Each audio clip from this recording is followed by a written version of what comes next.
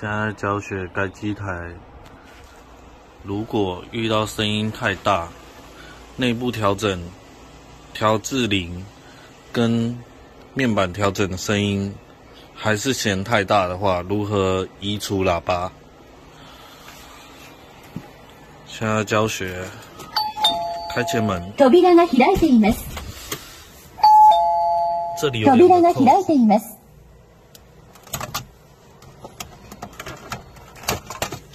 打开之后，这里下方有两个大喇叭，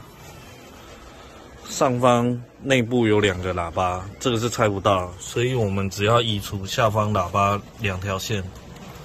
一条、两条，再将盖子盖回。